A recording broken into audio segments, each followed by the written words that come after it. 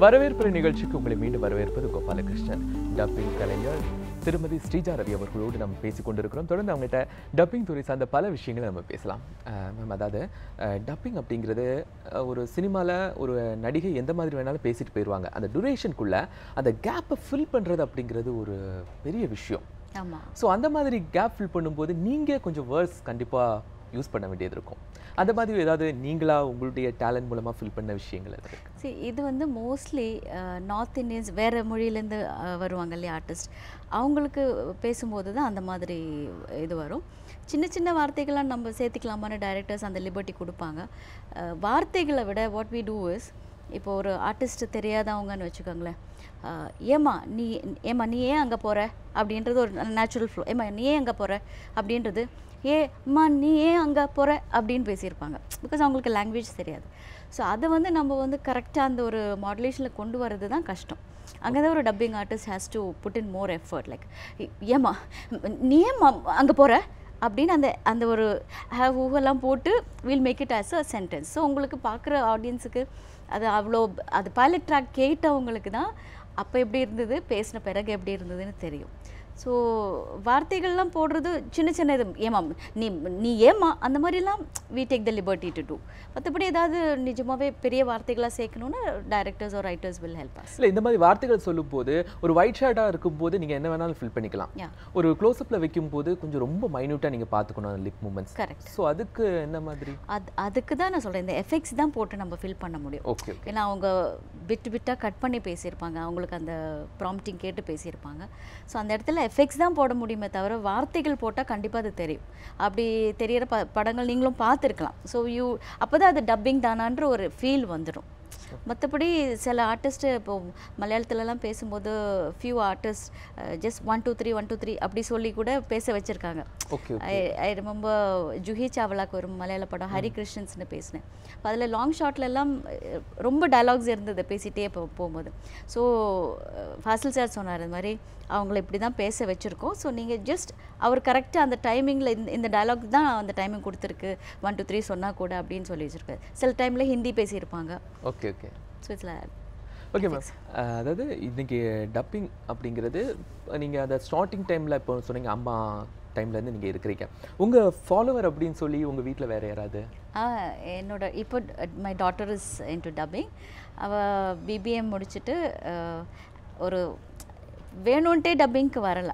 Actually three year three and half years இல்லை இல்லை நான் சாரி ஒன் அண்ட் ஹாஃப் இயர்ஸில் இருக்கும்போது அவள் தொட்டா சின்னிங்கன்னு ஒரு படத்தில் நான் தேவயானிக்கு பேசியிருந்தேன். அப்போ அதோட ட்ரெய்லருக்கு தொட்டா சின்னிங்கி அவள் வாய்ஸ் வரும். அது நான் வந்து அந்த ட்ரெய்லர் பேசுகிறதுக்கு கன்சோலில் இவ உட்காந்துட்டு இருந்தேன் நான் பேசும்போது ஸ்பான்விஷன் வழங்கும் தொட்டா சின்னிங்கி அப்படின்னு நான் உள்ளே பேசிகிட்டு இருப்பேன். அப்போ இது இந்த தொட்டா சின்னிங்கி கேட்டுட்டு she was repeating that touch சின்னிங்கி அப்படின்னு டேரக்டர் அவருக்கு வாய்ஸில் ரொம்ப பிடிச்சிருந்தது. ஸோ அவர் கேட்டார் அவ அவளை கொஞ்சம் நீங்கள் பேசி பேச வைங்களேன்ட்டு. அவள் அதே மாதிரி நான் சொல்லி சொல்லி கொடுத்தோன்னே ரிப்பீட் பண்ணான் ஸோ ஆக்சுவலாக ட்ரெய்லர் ஐ மீன் ஏரில் அந்த வாய்ஸ் தான் வந்தது. அப்புறம் ஃபியூ ஆட்ஸ் எல்லாம் பண்ணியிருக்கேன் அந்த டைமில் அப்புறம் எஜுகேஷன் டைமில் எதுவுமே பேசினதில்ல. சாட்டைங்கிற படத்தில் தான் நிறைய வாய்ஸஸ் பார்த்துட்டு இருக்கும்போது சம்படி அந்த சவுண்ட் இன்ஜினியர் ரெஃபர் பண்ணி ரவீனா பேச நேம் இஸ் ரவீனா. அவளை ட்ரை பண்ணாங்க. Luckily it got okayed so அந்த படத்துலேருந்து இப்போது thirty to thirty five films அவள் ஹீரோயின்ஸ்க்கு பேசிட்டா. அதில் முக்கியமான சொல்லணும்னா ஐ ஃபிலிமில் எமி ஜாக்சன் பேசினாங்க. இப்போ Kajal Aggarwal Samantha lot of heroines is doing well Nayanthara in Malayalam. Ma'am ஆக்சுவலாக இன்னைக்கு டப்பிங் கலைஞர்கள் அப்படிங்கும்போது அவங்களுக்கு ரிவார்ட்ஸ் அப்படிங்கிறது ரொம்ப முக்கியம். ஸோ ஒரு அவார்ட் நீங்கள் எவ்வளோ தான் காசு வாங்கினாலும் அவார்ட் அப்படிங்கிறது ஒரு ரெகக்னேஷன் அப்படிங்கிறது ரொம்ப முக்கியம். என்ன மாதிரி இருக்குது கலைத்துறையில் அவங்களுக்கான? சி ரெண்டாயிரத்தி ரெண்டில் தில் படத்தில் எனக்கு ஸ்டேட் அவார்டு வந்தது ஸோ அந்த டைம்லேருந்து தான் இது தமிழ்நாட்டில். ஆமாம் கவர்மெண்ட் ஆரம்பிச்சிருக்காங்க அதுக்கு முன்னாடி கேரளாவில் இருந்தது so about four Kerala state award எனக்கு வந்திருக்கு அது கண்டிப்பாக ஒரு பெரிய எவ்வளோ தான் நம்ம பணம் சம்பாதிச்சாலும் ஒரு ரெக்கக்னிஷன் கவர்மெண்ட் ரெக்கக்னிஷன் வரும்போது இட்ஸ் ரியலி சம்திங் ஒரு பெரிய ஒரு ஊக்கம் நம்மளுக்கு அது. ஸோ அது கொஞ்சம் கம்மியாக தான் இருக்குது ஏன்னா இப்போ ஒரு சிங்கர்ஸ்க்கு கிடைக்கிற ஒரு பாப்புலாரிட்டி இருக்குது பாருங்கள் அது வந்து வேணும்ன்ட்டு பண்ணுறது கிடையாது. பிகாஸ் ஆர்டிஸ்ட்டுக்கு பேசும்போது நம் அவங்க வாய்ஸ் இல்லைன்னு தெரியும் போது அவங்களுக்கு அது ஒரு ஒரு மைனஸாக இருக்கலாம். ஸோ அதனால் அவங்களுக்கு அந்த அவார்டுக்கு அவங்கள கன்சிடர் பண்ணாமல் கூட இருக்குது ஸோ அதனாலேயே இருக்கலாம். மோஸ்ட் ஆஃப் தெம் வெளியில் சொல்கிறதுக்கும் கொஞ்சம் இது.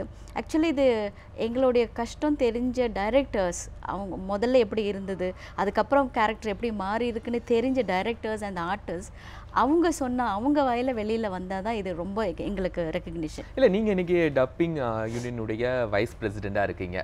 சோ நீங்க நிறைய முன்னெடுக்கலாம் இல்லையா அந்த மாதிரி விஷயம் இல்லை இல்லை. அப்படி அப்படி எங்களோட முன்னாள் ஐ மீன் ஹீஸ் அ நிரந்தர தலைவர் ஆர் ஆர் ராதாரவி சார் எங்களோட தலைவர். அவர் ரொம்ப அந்த அந்த மாதிரி ஒரு இனிஷியேட்டிவ் எடுத்து தான் தமிழ்நாட்டில் இதை ஆரம்பிச்சாங்க. அவார்டு கொடுக்கறதுக்கு. ஸோ ம கேரளாலேயும் நான் ரொம்ப இது பண்ணியிருக்கேன். நேஷ்னல் லெவல்லையும் கொடுக்கறதுக்காக அப்ளை பண்ணியிருக்கோம். But slowly maybe in future இப்போ என்னோட ஜென்ரேஷனுக்கு கிடைச்ச ரெக்கக்னிஷனை விட பத்து மடங்கு ஜாஸ்தி தான் இப்போ இன்னைக்கு ஃபேஸ்புக் கண்டிப்பா அந்த வழியாகவும் ஒவ்வொரு ட்விட்டர் கலைகளுக்குமான அங்கீகாரமும் அதற்கான மதிப்பும் கொடுத்தாதான் அதனுடைய வளர்ச்சி அப்படிங்கிறது நிறைய இருக்கும். அஹ் இன்னைக்கு உள்ள கால சூழல்ல அஹ் அந்த மாற்றங்கள் அப்படிங்கிறத நம்ம ஏற்றுக்கொள்ளணும் நம்மளும் மாறிக்கணும் அப்படிங்கிறது தான். அஹ் நீங்க தொடர்ந்து ஒரு டப்பிங் கலைஞராகவே இருக்கிறீங்க பட் நிறைய அனுபவங்கள் அப்படிங்கிறது உங்களுக்கு நிறையவே இருக்கும். தற்சமயம் என்ன மாதிரியான புது விஷயங்களை நீங்க பண்ணிட்டு இருக்கீங்க? இப்போது புது தலைமுறைகள் நிறைய டப்பிங் ஆர்டிஸ்ட் வந்ததுனால எ- என்ன மாதிரி இருக்கிற இன்க்ளூடிங் மீ அவ்வளோவா ஹீரோயின்ஸுக்கு இப்போ பேசுறது கிடையாது. ஸோ லேட்லி லேட்டஸ்ட்டாக நான் வந்து காவியா மாதவனுக்கு மலையாளத்தில் ஒரு ஆகாஷவாணின்னு ஒரு படம் பேசியிருக்கேன்.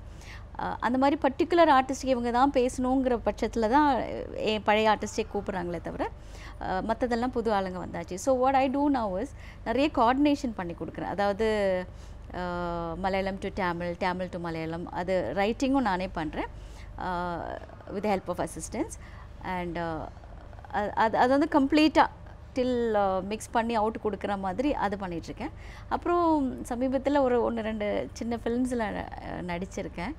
ஸோ லைக் பாயும் புலி ஜீவா அதில் பாயும் புலியில் விஷால் சாரோட அம்மாவை நடிச்சிருக்கேன்.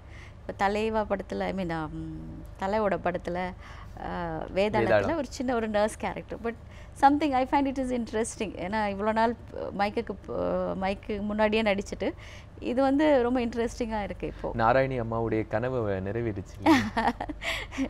ஓகே மேம் இந்த ப்ரொஃபஷன் அப்படிங்கும்போது இன்னைக்கு வரக்கூடியவங்க அப்படிங்கிறது ரொம்ப முக்கியம். நம்முடைய கலைத்துறை அப்படிங்கிறது வளர்ந்து கொண்டு இருக்குன்னா புது அறிமுகம் அப்படிங்கிறது தேவை. புதுசாக வரக்கூடியவங்களுக்கான ரெக்கக்னேஷன் எப்படி இருக்கு? அவங்க என்ன மாதிரியான முழுமையான திறமைகளோட வராங்களா? டெடிகேஷன் எப்படி இருக்குன்னு பார்க்குறீங்க டெடிகேஷன் பார்த்தீங்கன்னா சரி நாங்கள்லாம் வந்த டைமில் எல்லோரும் ஒரு குரூப்பாக நின்று அந்த சீனில் யார் யார் இருக்காங்களோ even if the heroes there எல்லோரும் சேர்ந்து அவ்வளோ டயலாக்ஸ் படித்து தான் நாங்கள் அது ஃபுல் இன்வால்மெண்ட்டோட தான் டப் பண்ணிகிட்டு இருந்தோம். இப்போ வந்து ஒரு ஊனா கூட இன் பிட்வீன் பஞ்ச் பண்ணி எடுக்கக்கூடிய டெக்னிக்கல் ஹெல்ப் வந்திருக்கு. ஸோ அவ்வளோ டெடிகேஷன்றது கொஞ்சம் கம்மியாக தான் இருக்குது எங்களுடைய பேட்ச் பார்த்துட்டு இப்போ பார்க்கும்போது. இப்போ எல்லாம் கொஞ்சம் ஃபாஸ்ட் இங்கே இப்போ டப்பிங் இருக்குன்னு சொன்னாலே எவ்வளோ நேரம் இருக்கும்? அப்படி தான் கேட்குறாங்க ஸோ இட்ஸ் நாட் தட் நம்ம எவ்வளோ நேரம் இருக்குங்கிறது அது எப்படி நம்ம பண்ண போகிறோங்கிறது தான் மனசில் இருக்கணும். ஸோ அந்த அதுக்கான அந்த டைமை ஒதுக்கிறதுக்கு இது முடிச்சுட்டு அங்கே வந்து அடுத்த இடத்துக்கு வந்துடுறேன்னு சொல்ல மாட்டாங்க. இங்கே ஒன் ஹவர் அங்கே ஒன் ஹவர் அங்கே ஒன் ஹவர் அப்படின்ற ஒரு ஓட்டத்தில் தான் இருக்காங்களே தவிர ஒரு ஒரு கேரக்டர் ஃபுல் அதனால் அப்படி இருக்கிறவங்க தேர் ஆன் த டாப் எ- எந்த எந்த ஒரு ஹீரோவாக இருக்கட்டும் ஹீரோயினாக இருக்கட்டும் அந்த டெடிகேஷன் கம்ப்ளீட்டாக இருக்கிறவங்க அது அதுக்கான நிலையில் அவங்க இருக்காங்க. ஸோ தெர் அபவுட் ஒரு ரெண்டாயிரத்தி எட்நூறு கிட்ட மெம்பர்ஸ் இருக்காங்க எங்களுக்கு.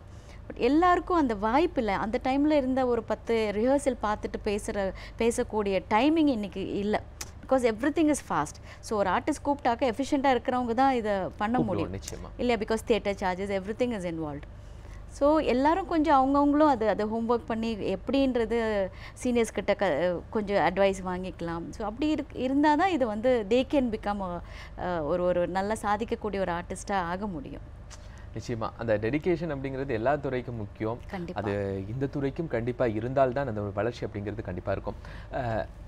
நீங்கள் பண்ணியிருக்கிறீங்க நிறைய லைலா பண்ணியிருக்கிறீங்க தேவயானி சுலக்ஷ்மி சிம்ரன் நிறைய பேருக்கு பண்ணியிருக்கீங்க அந்த ஆக்ட்ரஸ் உங்களை சொல்லியிருப்பாங்க இல்லையா? ப்ரைஸ் பண்ணியிருப்பாங்க. மேம் அவ்வளோ சூப்பராக நான் பேசினா கூட இவ்வளோ நல்லா பேசியிருக்க மாட்டீங்க அப்படின்னு ஒரு விஷஸ் பண்ணியிருப்பாங்களா? அந்த மாதிரி அந்த மாதிரி எனக்கு ஷாலினி சொல்லியிருக்காங்க.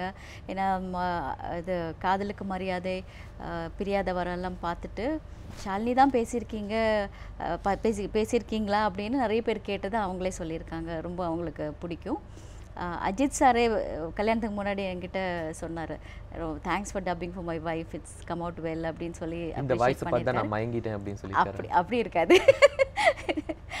வாய்ஸை பார்த்து அவர் அவர் அவரும் பயங்கல தென் அதே மாதிரி ம், தேவி அண்ணி கூட அவங்களுக்கு ஒரு 90% பர்சன்ட் என்னோட காதல் கோட்டையிலேருந்து என்னோட வாய்ஸ் தான். அவங்களும் என்னை ரொம்ப அப்ரிஷியேட் பண்ணியிருக்காங்க. சிவலக்ஷ்மி மற்றபடி லைலா அவங்கக்கிட்டலாம் அவ்வளோ ஓகே இது இல்லை ஓகே மேம் இந்த காலை பொழுதுல நீங்கள் கலந்து கொண்டு நிறைய விஷயங்கள் மேம் அதாவது ஒரு டப்பிங் துறைக்குள்ள இவ்வளவு விஷயங்கள் இருக்கிறா அப்படிங்கிறத நேர்களுக்கு காலை பொழுதில் ரொம்ப மகிழ்ச்சியாகவும் அதுவும் நீங்கள் ஒரு குழந்தை வயசுல பேசினது ரொம்ப இன்ட்ரெஸ்டிங்காக இருந்துச்சு. ரொம்ப சந்தோஷம் நிகழ்ச்சியில் கலந்து ரொம்ப சந்தோஷம் எனக்கும். தேங்க்ஸ் நேர்களே இது நம்முடைய நிகழ் வரவேற்பு நிகழ்ச்சியில் டப்பிங் கலைஞர் திருமதி ஸ்ரீஜா ரவி அவர்கள் கலந்து கொண்டு நிறைய சுவாரஸ்யமான விஷயங்களை பகிர்ந்து கொண்டாங்க. மேலும் அடுத்த வரவேற்பு நிகழ்ச்சியை சந்திக்கிறேன். வணக்கம். Thank you.